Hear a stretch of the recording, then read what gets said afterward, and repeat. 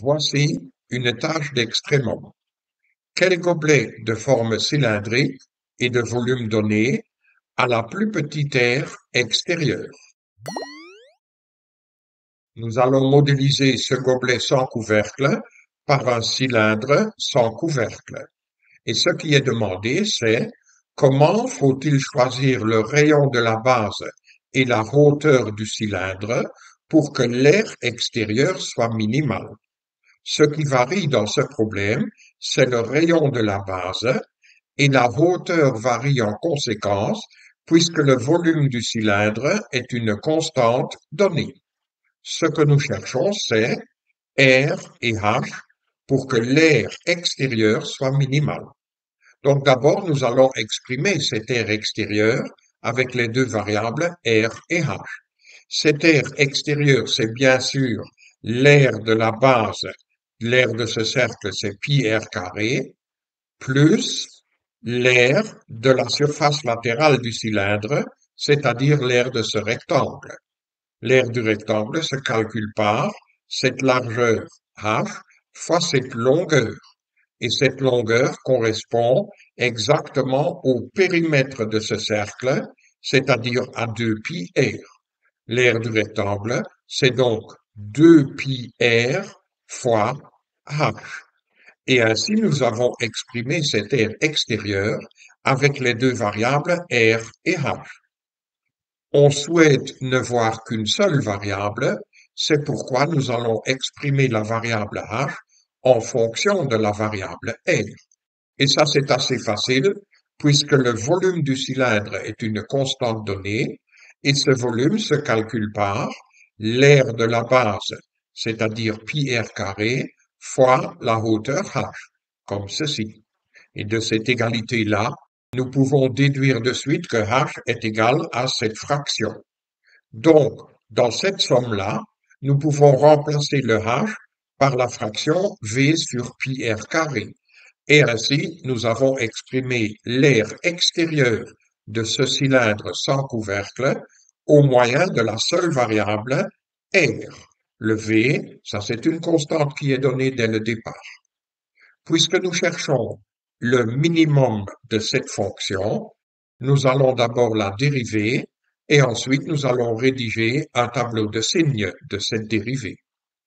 La dérivée de cette somme, c'est la somme des dérivées. La dérivée de pi r carré, c'est 2 pi r.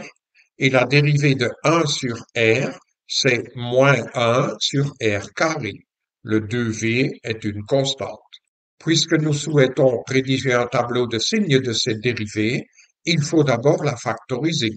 C'est pourquoi on réduit les deux fractions au même dénominateur et ainsi nous pouvons rédiger le tableau de signes pour cette fraction. Les deux valeurs particulières sont pour le dénominateur 0 et pour le numérateur racine cubique de v divisé par pi. Cette différence s'annule en la racine cubique de v sur pi.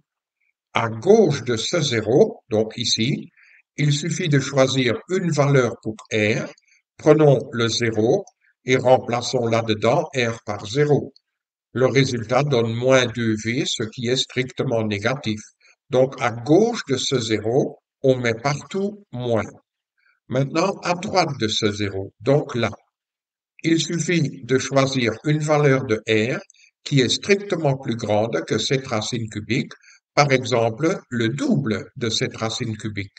Si nous remplaçons là-dedans R par deux fois cette racine cubique, alors le résultat donne un nombre strictement positif. Donc là, on met un plus. Et voilà.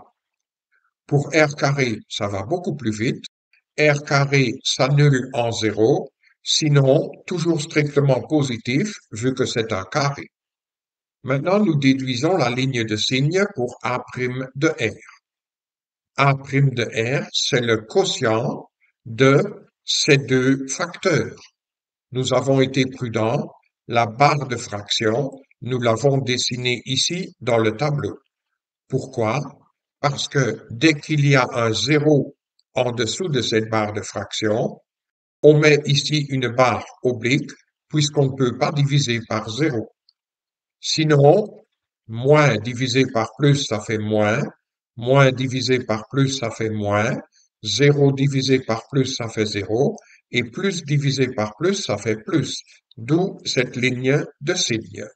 Concluons maintenant pour A de R. Le rayon égal à zéro n'a pas de sens parce qu'alors il n'y a pas de cylindre, il n'y a qu'un trait. Et un rayon strictement négatif n'a pas de sens non plus. Par conséquent, dans ce domaine-là, nous mettons une barre oblique. Sinon, là où la dérivée est strictement négative, la fonction décroît, donc ici, flèche vers le bas. Là où la dérivée est strictement positive, la fonction croît, donc ici, flèche vers le haut. Et en cette racine cubique, la dérivée s'annule, ce qui signifie que la tangente au graphe de A est horizontale, dont nous pouvons donc déduire que la fonction A de R atteint un minimum lorsque le rayon est égal à la racine cubique du volume donné divisé par pi. Donc il faut choisir le rayon ainsi. Et la hauteur, le lien entre le rayon et la hauteur est clairement écrit ici. Donc pour trouver la hauteur h relative à cette aire extérieure minimale, il suffit de remplacer dans cette fraction le r par cette racine cubique. Mais faisons ça. Le h, c'est donc cette fraction-là dans laquelle nous remplaçons le r par cette racine cubique. Ce calcul mène vers cette fraction-là qui se simplifie en cette racine cubique. Donc le h est égal à cette racine cubique. Oui, mais cette racine cubique, c'est exactement le r.